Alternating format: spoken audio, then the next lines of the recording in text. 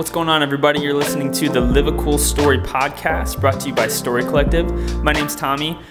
Story Collective is a nonprofit organization dedicated to using story to impact the lives of others.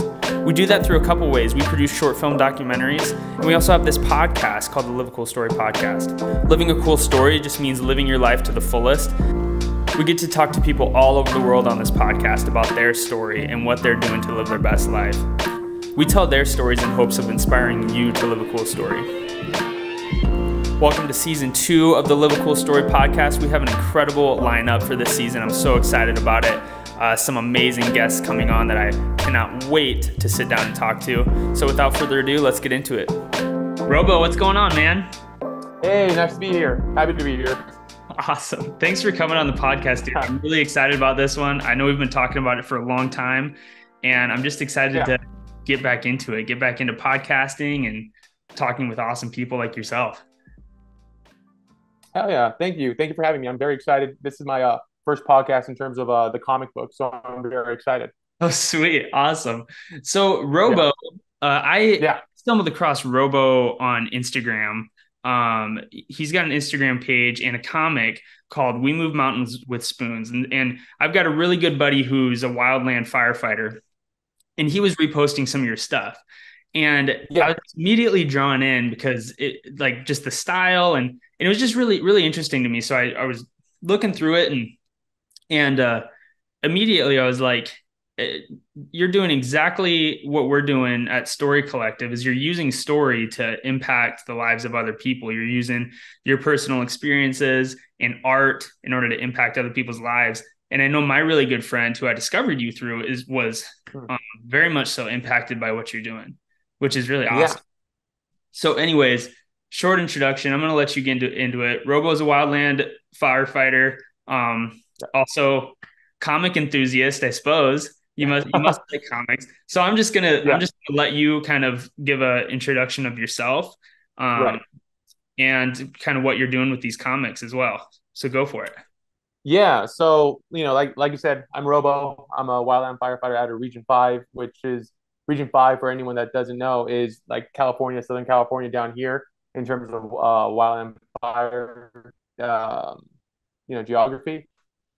Um, yeah, so I started the comic book just out of a lack of information for just the general public to see what we really go through. You know, people think about us only during the fire season, but they don't see the fact that the majority of us are laid off when it, the off season kind of comes around. So I just really wanted to tell stories, my stories and my friends' stories, to just show that we were real, that we're real people with real emotion, and and we're not just you know these one dimensional superheroes or heroes that people just assume we are you know yeah. we're we're you know dealing with a lot so that's what i that, that's why i wanted to make the comic just to you know have people understand what we're going through yeah for sure. Okay. So um talk a little bit about the comic now.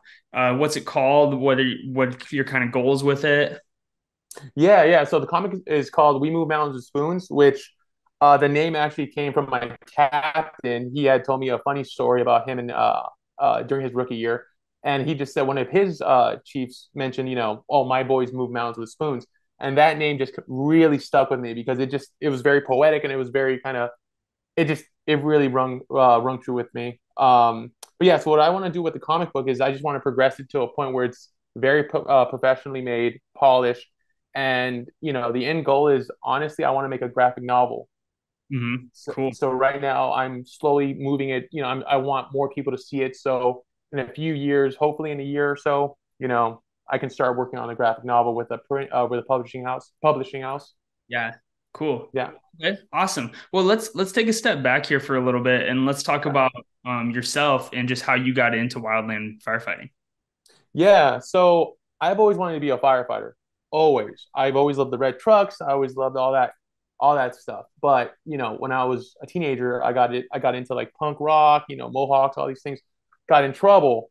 And at 18, I got in trouble. And because of that, I thought the idea of becoming a firefighter was gone. You know, even if you have, you know, some departments, they won't hire you if you have a ton of tickets, if you have a DUI, different things like that. So to me, at that young age, I thought, oh, well, I kind of ruined my life. Um, but later on, after going to school and getting you know job after job, I found myself going back to school for firefighting, and mm. it was very, it it very much felt like fate because I was not supposed to be in the class in the firefighting class that I ended up in. I actually just wandered in there because I was supposed to I was supposed to be in a German class. Okay. I didn't get that. Yeah, I didn't get that class, but I ended up walking into this firefighting class, and the teacher there, Chief White, who's a chief uh, from Culver City, a neighboring city near me, uh, was one of the first people that actually believed in me. And from that from that day forward, I've just been chasing the dream. Yeah. And since then, I yeah I interviewed for different departments, and I got hired on at my current department now, and I've been there ever since. You know, it's just always been a dream of mine, and it's truly given me a you know, it's it's a passion and a job, and I just absolutely fucking love it. Yeah, absolutely. So, how many yeah. years have you been in? I've been at my department right now. It, next year is going to be my fourth year, but okay. because I'm injured, I don't really count this year. So it would be my third year next year. Yeah, that's yeah. awesome. Man. That's so cool to hear. Yeah, I was always I've I've always been fascinated with um, firefighting and wildland firefighting specifically. Yeah. Um, I don't know if you do you remember those those toys Rescue Heroes? Yes. Remember those? Yes. I grew yeah, up on them. And it's like like you know the, police officers, the firefighters. I don't I don't remember what yeah, yeah in there. Yeah. But just like the coolest things and just made you want to be that person. And so right. let's, let's talk about that. Like what what are the aspects of wildland firefighting um that aligned with with you? Like what was so attractive to you about it? Yeah, in the beginning, uh my first year, I think I think everyone's um idea of firefighting is I want to get out there and fight this fire. You know, I want to get out there and you know, have fun, you know, take pictures, all these different things. But after my first fire, I noticed that it wasn't really that. The thing, the thing that I did love about it were was you know the friendships, the people that you got to meet, people that you would meet on fires, you know that you would never see again. You know, I would bump into someone and talk to them for a whole day. We'd have conversation after conversation about where we grew up, how we got into fire, different things, and yeah, I just I loved it because it felt like it was our own little secret language. It was our own little secret subculture of people that kind of just understood each other. So that's what I love about fire is it's that you know that secret language between two people that it's like oh you you've done it I've done it you get it. Mm-hmm. It's it's it's more or less that not actually fighting fire anymore. It's just yeah. the friendships. Yeah, definitely. So what are what are some uh, aspects about yourself, like your own personality, that um, like really aligns with firefighting? Like like what is it that was instilled in you as a young kid that just wanted to pursue this dream?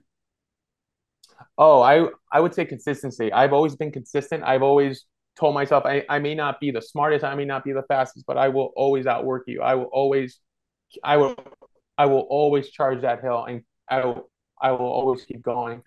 Yeah. So in terms of wildland firefighting it's an endurance it's a it's an endurance race. You know, you have to keep going. You have to keep hiking. You have to, you know, you just can't give up. Mm-hmm. So that's where I kind of, you know, fit in because I always saw myself as something, uh, some something along the lines of like a workhorse. Okay. Where I would just keep going. I would just keep going and keep going, and keep going. And yeah, I think it, I just align really well with Wildland Fire because I just love to be like abused and like yeah. treated badly. Where it's like, all right, we're gonna go live in the, we're gonna go live in the forest. We're gonna go hike for days. It's like hell yeah. You're like, that like, sounds my knees awesome. are, Yeah, my knees are gonna fucking hate me when I'm 50, but whatever. yeah, that's yeah. so awesome. So like you talk yeah. about you talk about this being a dream when you were a kid, and then you kind of got in trouble. And didn't think that you really ever ever reach that goal. And a lot of people, when they hit a roadblock like that, yeah. just drop it. They'll drop their dreams right. and they'll just take whatever life has for them. Um, right. But what you know, talk a little bit about that. How did you push through that roadblock? Um, what what was it about yourself that you know um, helped you keep taking those steps forward? Yeah, I mean, looking back, I I I would credit my mother and my family at growing up because I would look at them and see how bad uh, how hard they were struggling, and I would think, you know, I really don't want their struggle to be for nothing. So mm-hmm. my mother would always tell me, you know, I don't care what you do, just be happy. Mm. And you know, that's that's really what kind of pushed me was the fact that I didn't want my family to feel as if I let them down And I'm always I I've always been hard on myself too. So it's like if someone tells me like you can't do something, I'm just gonna say like no, yeah, yeah, I can. I'm gonna keep going. I'm gonna wait. I'm gonna see if all the doors are closed before I give up. And I'm yeah. lucky I did it because the department that I got hired at is one of the best departments I've been at, and it's truly like I, I love it there, and I'm so happy that uh that I kept at it because you know the thing I keep telling myself over and over again is you know 18 year old you would be so proud of you. Yeah, you know that's a yeah. Cool. So yeah, yeah. I mean, like it kind of kind of chokes me up too. It's like yeah, me at 18 being in trouble, thinking, all right, you're gonna be a 32 year old firefighter. It really makes me emotional because it's like seeing where you were to where you are now is just great. Yeah, absolutely. Yeah, yeah I've always thought about this idea of like um, going back to like 18 year old me and trying to figure out what I wanted to do in my life, you know, where I wanted to go to yeah. college, what I wanted to pursue. Um, yeah. And just like thinking about what kind of person would I look up to and then aspiring oh, yeah. to be that person. Yeah. So I love that. That's really cool. Yeah, yeah. I mean, we are the we we are the people that you know our childhood versions would feel safe with. Yeah, for yeah. sure. Yeah, well, that's awesome. Cool. Yeah. So, um, now let's what uh, what got you to the point of writing these comics now? Yeah. Um. Honestly, it was just when I first started doing it, I had accumulated these stories that I really just wanted to remember because okay. some of the people that some of the people that I talked to I never talked to again. So I just wanted to remember them. It was my way of like honoring them. So I would take out a journal and just write things down. Yeah. Um but in reality I wanted to make the comic book just to make the guys at my department laugh you know oh you know you had a comic book about a fucking boxing match. It's like yeah I remember that. But um uh, when I won this micro grant from the uh, Smokey Generation uh, micro grant, which is uh, given out every year, um, that it kind of changed because it went from oh okay I want to make it really funny to to like wow some of these stories aren't very funny. Some of these stories are very kind of sad. Yeah. So yeah I think that's why I did it just to do justice to the people that I met and I'll never talk to again and so they're not like forgotten because their their stories are absolutely sad and happy and beautiful, but you know, they, they, they deserve to be told. Yeah, that's cool. So it started as a way of just almost kind of journaling, like just documenting what was happening. Yeah. And um yeah, applied for a grant that kind of allowed it to grow into something bigger. Yeah, yeah. I mean, I found that grant one night when I was just scrolling through Facebook. You know, I'm not too proud to say I was about five IPAs deep, and I was like, oh, you know, I'm I'm gonna apply to this, and I applied, and I kind of just like, you know, poured my emotion into it, and I I got it, and it kind of lit a fire under me, and I was like, wow, someone someone sees the value in this, so yeah. I'm gonna go for it, and it just snowballed and kept going. That's cool. Yeah, there's always yeah. value in story because story can be so oh, yeah. And um, one of one of the things, one of your comics, one of the lines that really really struck me, and I really like is maybe you'll remember this. I don't even remember what the comic yeah. was, but it's something along the lines of um, talking about nothing with the people that mean everything. Oh yeah, yeah, yeah, yeah. Yeah, and I just yeah. thought that's that's really cool. That that really sits with me, and yeah. I mean, I I feel like uh, a lot of people would resonate with that because it's yeah. not it's not about like what you're talking about, but it's about the people you're with, which is why wildland firefighting is so special. Yeah. Yeah, yeah. no, absolutely. It's just it's true. It's you know, it really isn't the fire that gets you to you know gets you coming back year after year to a job that really just destroys your body really destroys your body destroys your you know your mental health it's it's the people it's you know the people that you literally don't need to do anything with that you can just be on the ground throwing rocks into a hat for hours you know you know and that also leads me to the next point like the true meaning of compassion to me is like wanting to suffer with the person next to you mm. and that's that's what i want to do that's why i love this job because I don't. You're miserable on a fire. Absolutely yeah. miserable. It's fucking horrible. but if but if you see your buddy next to you and that fucker's you know smiling and like having a good time, and you just can't help but have a good time. Yeah. You know. So yeah, it's just yeah, it's it's the people and it's just they make it worth it. So yeah. Well, that's awesome. So uh, let's see. Let's yeah. let's dive into a few of the stories that you've written. I guess. Um, yeah. You, can you think of one that really resonates with you off the top of your head and kind of talk about that one? Yeah, I mean, one of the first ones that really got me, uh, one of the first stories that I uh, got from a person in terms of just talking to them, is this episode called "She'll Be Okay." Um, it's an episode from part one invo- uh, involving uh, this uh, hotshot that we met uh, on a fire up north, and it just it it really just shows you know how humble and how like sincere this person was because we met them on a fire. We parked next to them, and his crew, his crew member had just gotten hurt, maybe like an hour, uh, maybe like four or five hours before. She had fallen to this thing called an ash pit, so she fell, you know, hands first and burned her whole arms up.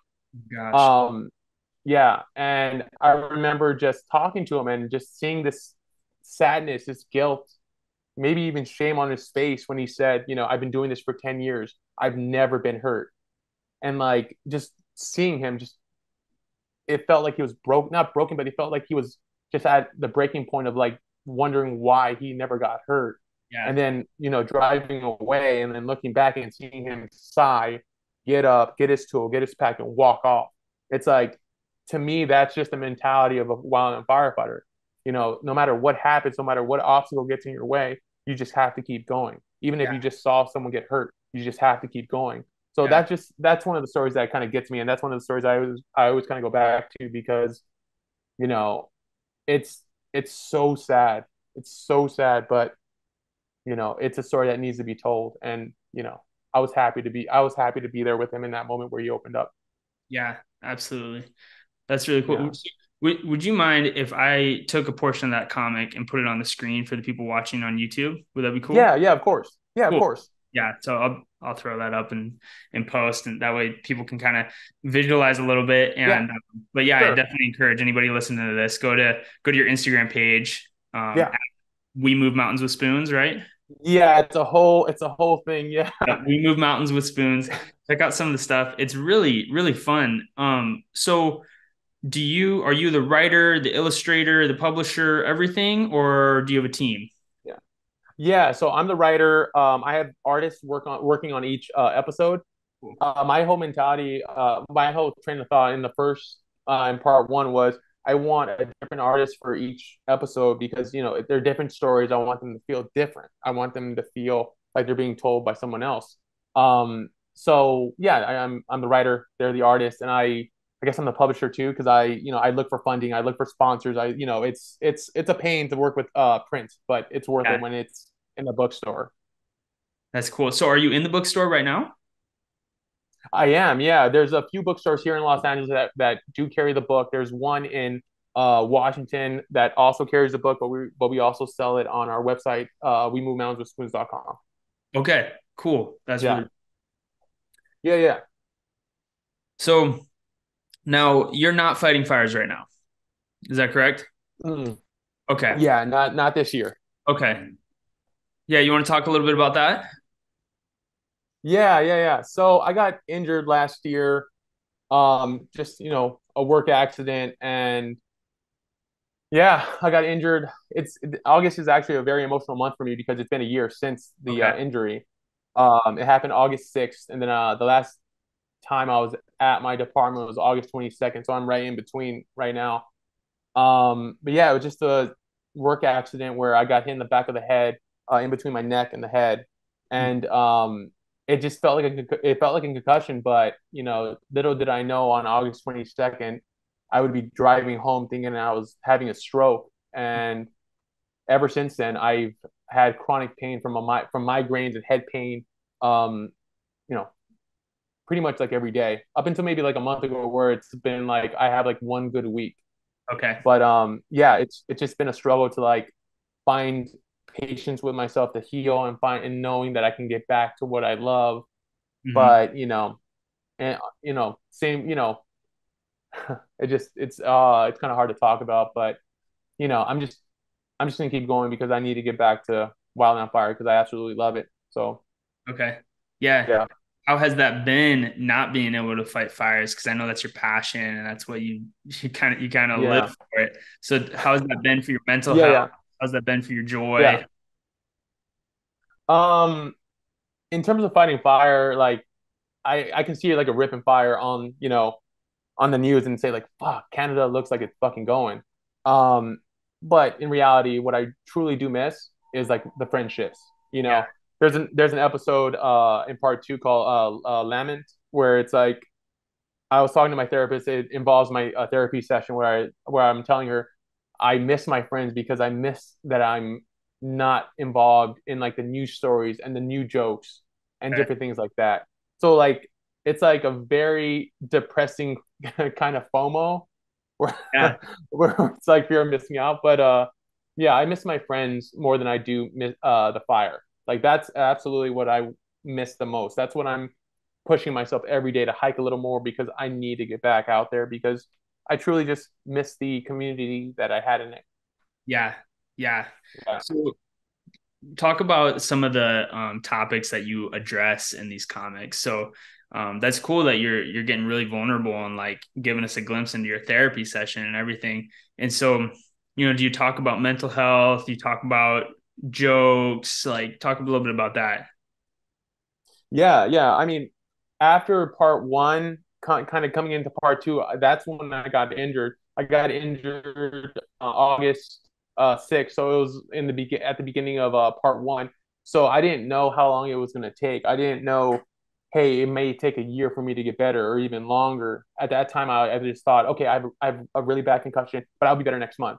So when I finished part one and I moved on to part two, I knew that I wanted to focus on my journey with this pain because I just held on to this belief that there has to be someone out there, that there absolutely has to be someone out there that feels like I feel, that yeah. feels the pain that I do, that mm-hmm. understands that there's days where you wake up and you have to like tell yourself that the pain's horrible, the pain's bad. You cannot even leave the house because you know you're sensitive to light you can't even listen to music because it hurts. It hurts your head you know but it's not that bad where you need to give up. There has to be someone out there that understands me. So that's why i got I got more vulnerable because it's just it's worth it's worth telling. It's a story that's worth telling and it's a story that may help someone that may help someone that gets hurt.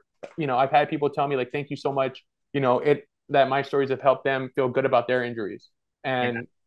that's truly just what I wanted to do, just to have people just be seen, yeah. feel like they're they like they've been seen and heard. Because mm-hmm. in the end, this comic has given this comic and the people that have read it and my friends and family have truly saved me because yeah. if I didn't have those things and have those people, I would have I don't know where I would be. I I don't know, but yeah, I'd rather I'd very much rather be vulnerable than act as if I'm tough and oh, it's okay. I, I can keep going. It's fine. I no, there's times where I wanted to give up. There's times where I cried in my car. There's times where I went to therapy and I couldn't even talk because of the pain. There's times where I had to inject myself with uh, pain medicine. There's times where I had to get Botox in my face and my neck. You know, wow. that's also the crazy thing about Wildland because after all that, after all that, after going through all that, the one thing I care about is if I make it back out there with my friends. That's all I care about, which is which is nuts. Yeah. yeah. which is nuts, right? It's like if a job does that to you, or if, yeah. you know, and then it's like, no, no, go go do something else. It's like, no, dude, I wanna I wanna kind of like lean in. yeah, for sure. Yeah. So in this comic, we're kind of we're kind of seeing other people's stories, but I feel like now since you've been injured, kind of going along your ride a little bit and seeing a little bit more into your story. Is that right? Yeah, yeah, yeah. I mean, if I obviously part two would be different if I wasn't hurt, right?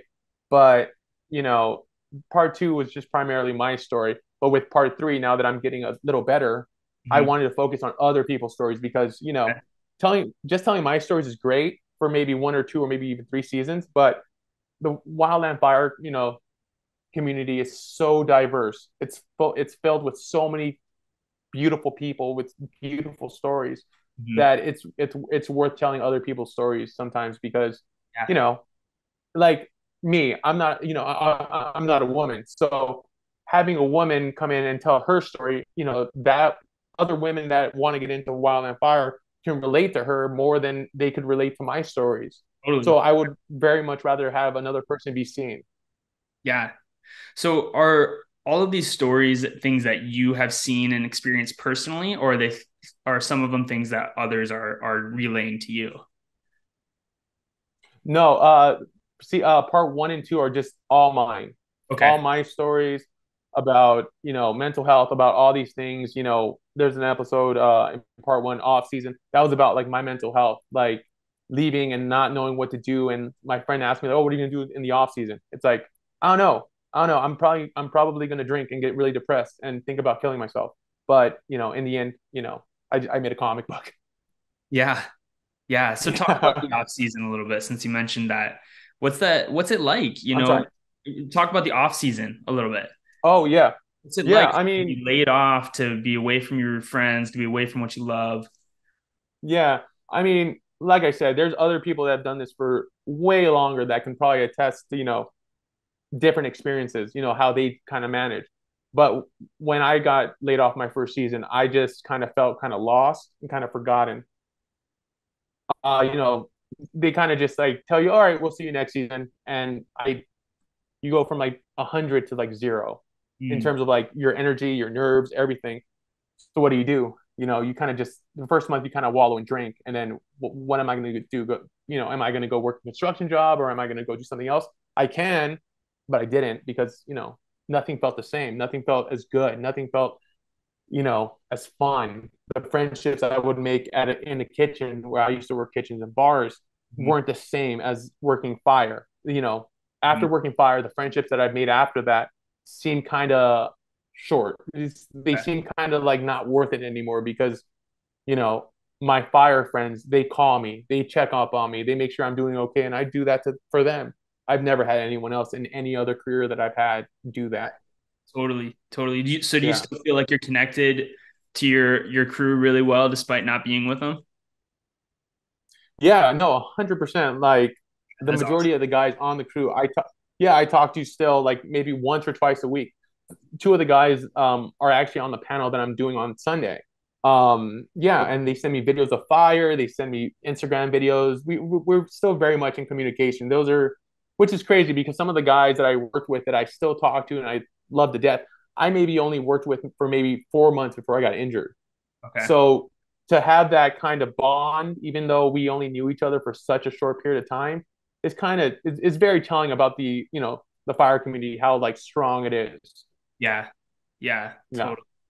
That's so yeah. cool. Well, it, it seems it seems to me like you you kind of entered into this season of of maybe kind of depression and mental health stuff, um, but took something like storytelling to kind of help be the medicine for that season. And so, which is really cool and really admirable because yeah. people will just like continue to wallow in self pity, right, through hard times. Um, but talk a little bit about that. Like, what would you say to somebody who's struggling with with mental health and or depression? Um, what would you say to them? Yeah, I would say, you know, see a therapist, talk to someone, you know, have a peer to peer session with someone at your department because, you know, unless you really want to get help, you're not you, you're not really going to do it. There there's so there, there was a few months where I was just in denial with the pain. Mm. I kept telling myself like, no, no, you're going to be fine. Just keep telling the guys you're going to be back next month. When in reality, I it didn't get better, and I I did wallow in you know in self pity, but if I was talking to say myself back then, I would tell them like it gets better. Don't give up. You know, maybe you need to be on med. Maybe you need to be medicated for a short period of time to get better. Maybe mm. you need to see a therapist for maybe a year. Maybe you need to do things that you may not have thought about before, like yoga. I I'd never done yoga. I do that shit now. so yeah. So just different things, dude. Just different things to you know just open up your mind to different things. Open mm-hmm. up your mind to different avenues that you wouldn't have thought about before. If it's religious, if it's exercising, whatever, whatever makes you happy, whatever makes you happy in that moment, do it because it'll it'll truly save your life. Yeah. Yeah. And there's always somebody out there that's struggling with the same thing too. So like you said, like talk to somebody. Exactly. You know. And yeah, yeah, yeah. That's what talk I really appreciate about what you're doing is you're you're putting all this stuff out here out there for people to see and yeah. read and relate to so that yeah they're not feeling alone which is super cool yeah yeah i mean that's that's that's totally it man just i really just want someone else out there that feels like I, how i did just to make sure you know like hey you're not alone mm-hmm.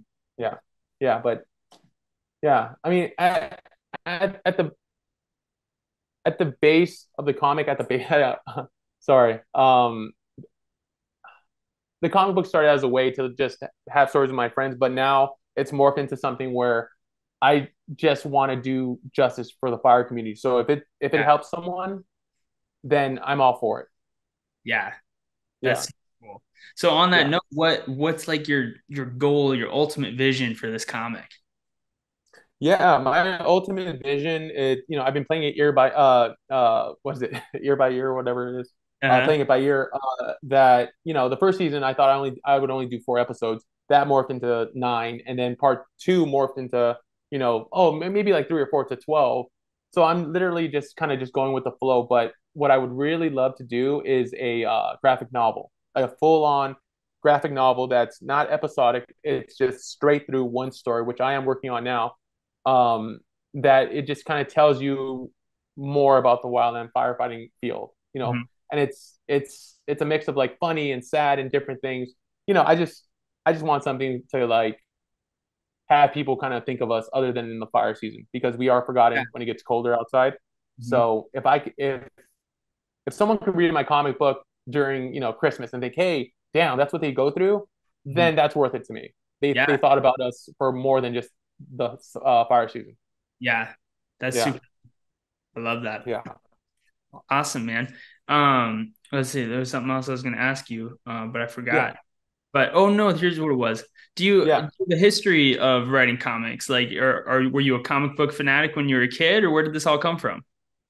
Yeah, I mean, I tried getting into comic books when I was younger. Like, I I, I would buy comics, but I would go into comic book shops, and you know, the people there, they were kind of like, elitist. So they would tell me, "Oh, you you read that comic?" It's like, yeah, it's like you should read this comic. It's like I don't fucking want to. um, so no, I I was into comics in the way that I would just collect them every now and again. Mm-hmm. But um, I've always I always loved to write. I always loved kind of making my own world. So mm-hmm. I never thought I had uh, any stories to tell until now. I never I never thought I had you know stories worthwhile. Mm-hmm. So now that I now that I do, you know, I just I, I just want to tell them.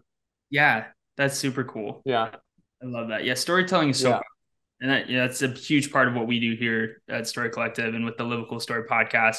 And so that's why I was just so excited to chat with you. And um, I hope yeah. everybody checks out the comic because it is really rad. Like even if you're not a firefighter, just I don't know, it's just very real. Your comics are very real. They're written very well um, and Thank very you. relatable, even if you're not in firefighting. Yeah, yeah. Thank you so much. Uh, I don't have a background in writing, so the the thing I, I the thing I always tell people is, you know, I may not be the best writer that y'all deserve, but I'll keep on writing until someone else comes by, comes comes along. Um, but yeah, thank you so much. Like that's all I wanted to convey is like realness and authenticity in, in like the comic book and writing. I did, you know, I I could have wrote I could have written a, story about like fighting uh, you know this huge freaking fire. But, yeah. you know, I'm more of a small story type of person. You know, yeah, small human interactions is are are the things that kind of make a story.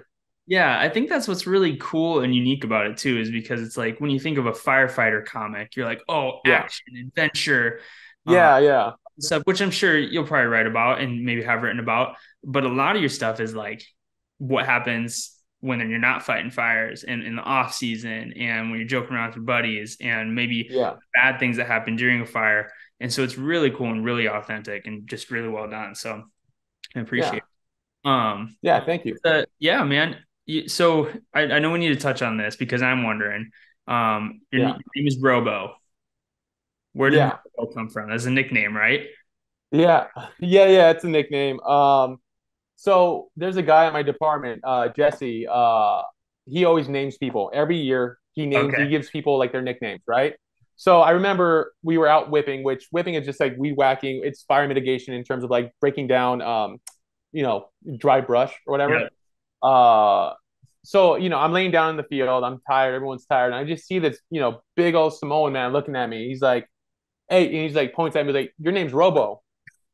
I was like, "Okay." and then you know, when he said that, I was like, "All right, cool." I kind of latched onto it because it's like I'd rather be called Robo than fucking something not so great. yeah, right. You know, You're like that one's good. yeah, that one's good. No, just leave it. and then uh, yeah, he he just named me that, and then uh, yeah, ever since then, I just I've just been called Robo. I've uh, I've told people just to call me Robo. Just kind of stuck, and I you know I enjoy it, and I I love Jesse, so perfect. Yeah, yeah. Does everybody uh, uh um, yeah. fighting have a nickname? Yeah, yeah, yeah. I mean, there's a guy uh, on my crew called Young Money. Jesse would call him Mama. There's other people, you know, people that come and go. Just we give them like little quick little nicknames. They they may or may not like it, you know, some of the nicknames, but you know, they they have nicknames. Yeah, it's kind of like camp. Everybody gets a nickname at camp yeah, yeah, yeah, exactly. It's like it's like if you don't have a nickname, then no, then they really don't like you. yeah. yeah. Cool. Yeah.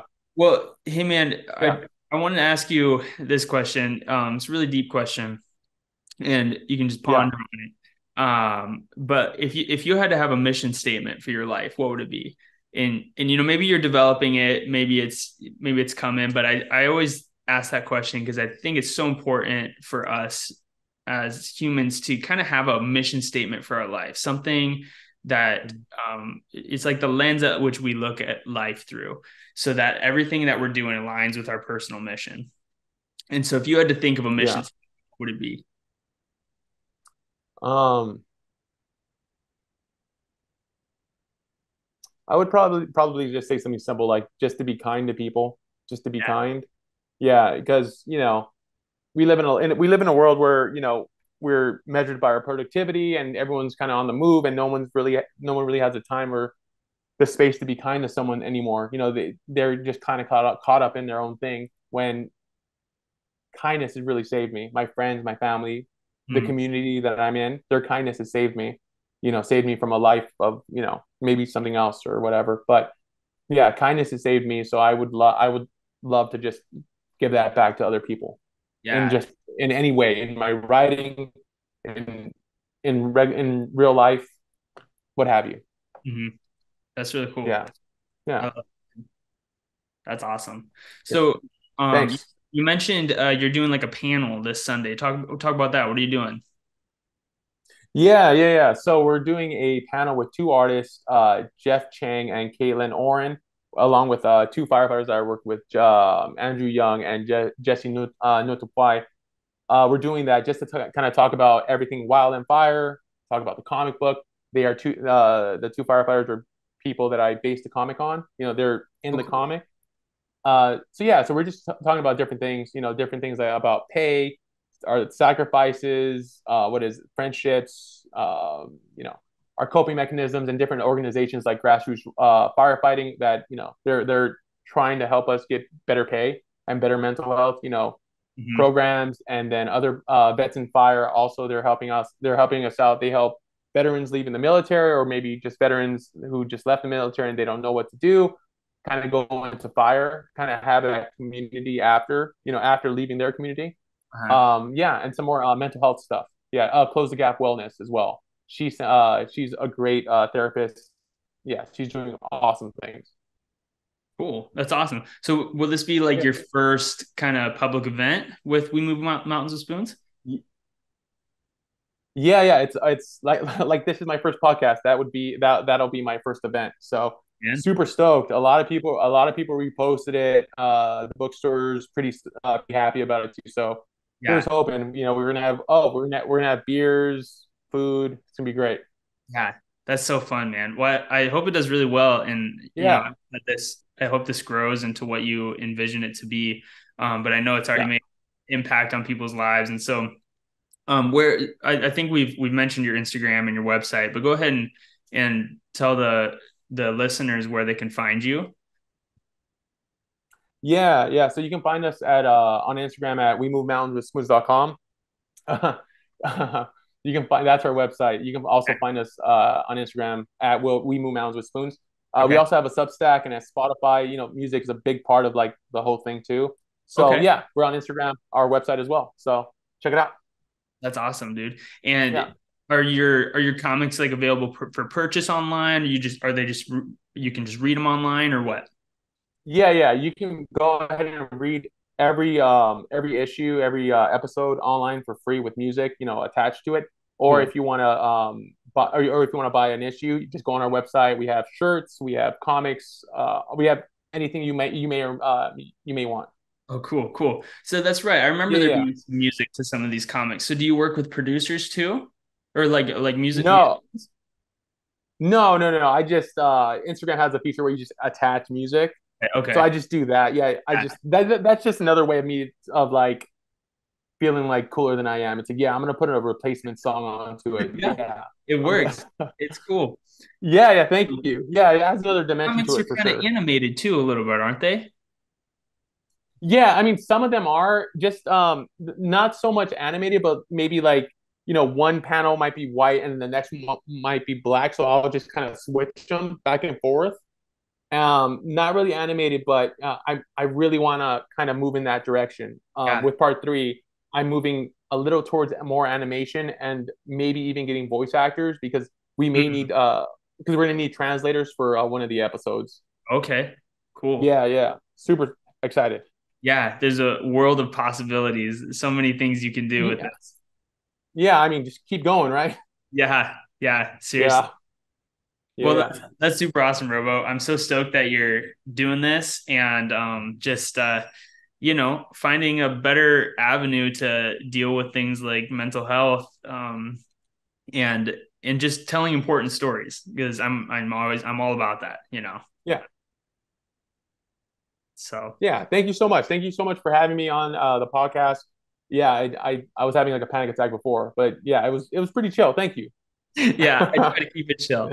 yeah, yeah, yeah. Anyways, dude, um, awesome talking to you. I'm glad we got to talk face to face. I know we've been talking about this for a long time, and uh, yeah. maybe we'll do another podcast episode when you when you launch season ten.